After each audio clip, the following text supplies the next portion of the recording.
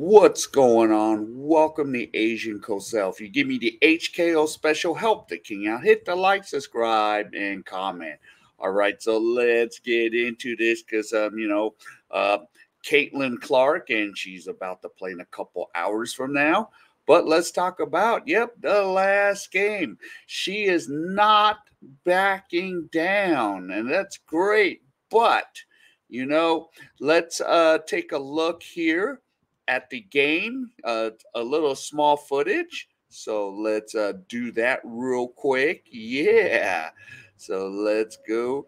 Oh, yep. And here it is. So, yep, here's the part where this got crazy. So check.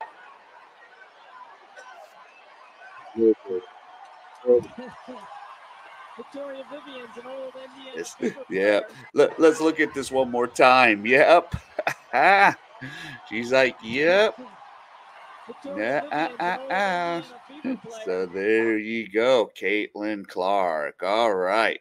So let's now get into this uh tab. But you know, here's a here's a thing. I, I didn't even I forgot to, you know, mention this. Yeah, Caitlin Clark has a WNBA suspension problem lurking because you know, Caitlin Clark has officially entered dangerous territory to potentially get suspended by the WNBA for, um, you know, uh, cumulative technical fouls this season. So when Clark got in the face of, you know, Seattle Storm guard Victoria Vivians, the two were hit with double technicals uh, in Indiana on Thursday night. So it's Clark's third technical foul in his first nine games of her WNBA career.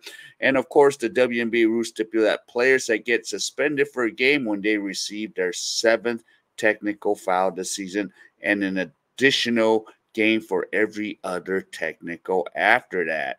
So, yep. So you saw in the video, and now there they go. Yep, Vivians and Clark to have that stare down.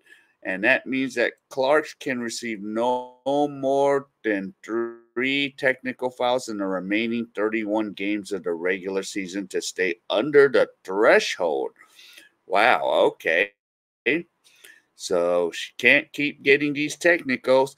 So, yep. Well, Clarks had started to find her shooting stroke. The frustrations have mounted as the Fevers uh, have started the season one and eight, and opposing defense seem to be actively seeking out her out with physical play. Yeah, so you know she's she's been getting banged up, man. She's been getting hit. She's been getting attacked.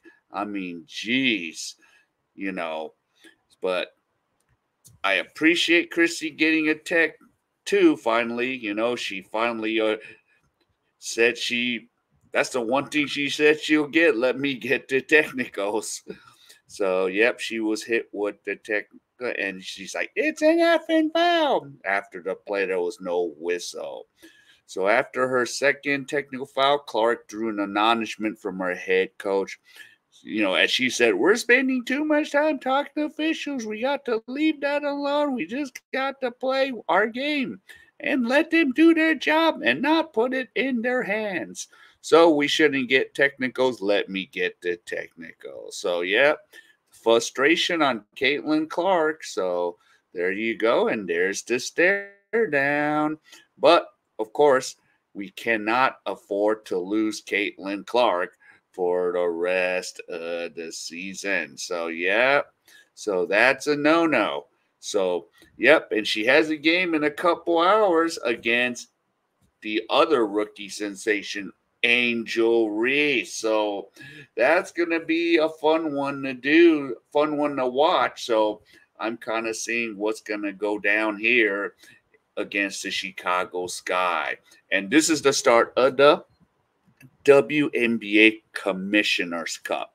So whatever that cup is, is just basically uh, everyone plays five games in their uh, you know division, and the best record plays the Western Division and so on for the Eastern Division. So, I, but I, I'm assuming that Indiana ain't gonna be there because they're just it's really too tough to win all these games. But yep, the Commissioner Cup starts now. All right. So if you enjoyed any of this content, please give me the HKO special help the king out. Hit the like, subscribe, and comment. So wherever you are, stay safe, and I'll see you in my next video.